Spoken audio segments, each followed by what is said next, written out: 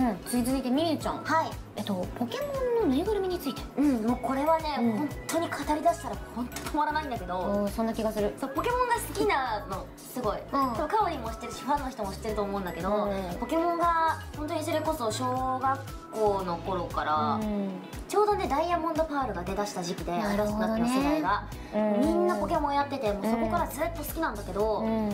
まああのー、EV が好きですって言ったの一回。イベントとかツイッターとかで言ったらファンの方からも、すごいもうプレゼントボックスにもこんもり EV をね いただくことが結構素敵やそうあって今、全部こう自分のベッドの枕元に置いてるの。EV を。そうで EV, そう EV, E- EV いっぱいいるの。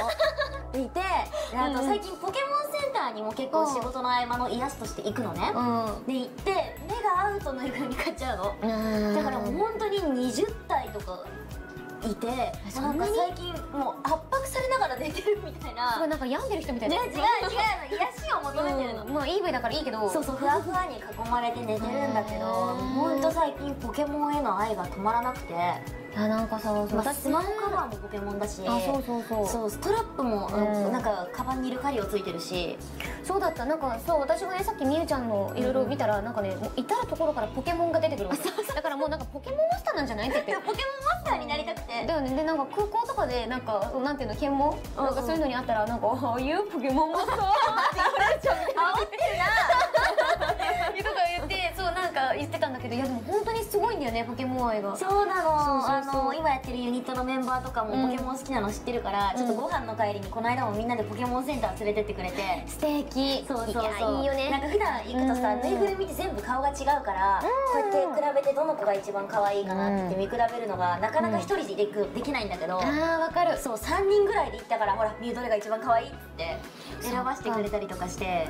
そうかでもさよく考えるとさポケモンって今すごいよね。だって、うん。そのなんだろうダイヤモンドパールの時から比べてみるとさ、今もうなんか進化がすごいじゃんゲームの。ゲームがすごくて、もうそれこそピカブリやってたんだけど、うん。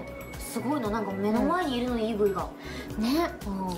カラー動く色違いえ？みたいなそう。感じだよね。もう先日ね実写のピカチュウの映画を見に行ったんだけど、あーなんで現実世界にいないんだろう 本当にあれなんだっけなんか質感がちょっと怖いみたいななんかでも多分実際にいたらこういう感じなんだろうなっていうのがすごいあってちょ本当見に行ってほしいんだけど。めっちゃ見に来たすごい気になってたんだよねそうそう。ちょっとね、うんこれのオンエアの時には終わっちゃってるかなと思うんですけど。あそっか。えでもね本当にうんいいもう改めてポケモン好きだなって思ったし、もうこれ以前にぬいぐるみも集めていこうって思ったオッケーオッケーもうじゃあその写真いつか送ってねで私ああいうポケモンマスター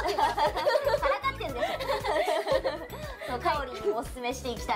はい、はい。私もポケモンマスターになりますわ。ちなみに一番の推しはねレントラーだよあオッケーオッケー。皆さんレントラだそうです。レントラーが好きです